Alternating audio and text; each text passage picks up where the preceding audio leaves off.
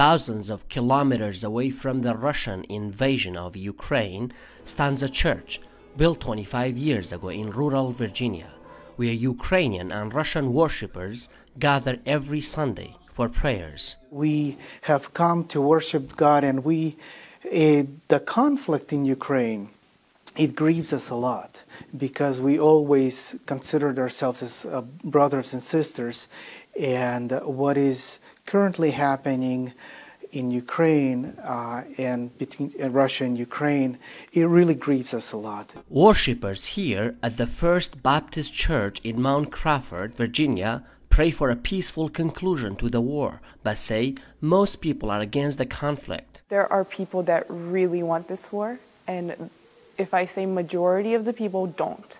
So I don't think this war is needed. I think there are many different ways that we can overcome these di um, differences, but because there are people that want it and those people are in power, um, it was unavoid unavoidable. Churchgoers here emphasize the need to focus on shared values and heritage. The war is even more devastating for people with a mixed family background. My mom is Russian. I was born in Ukraine and I'm married on Belarusian girl. My wife is Belarusian. So me personally, I'm a combination of all these three nations.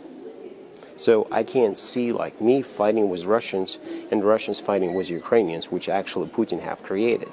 So the thing is, for me as a believer, that we have to stand firm on the position, help those who are in need, and create a peace environment.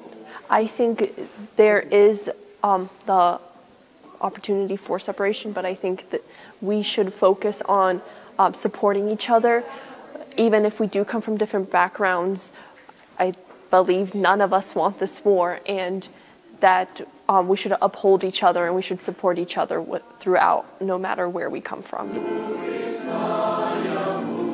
On February 24, Russia invaded Ukraine.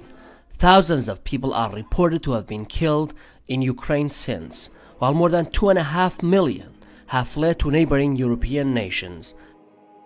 For Yahya Barzanji in Mount Crawford, Virginia, Namo Abdulla, VOA News.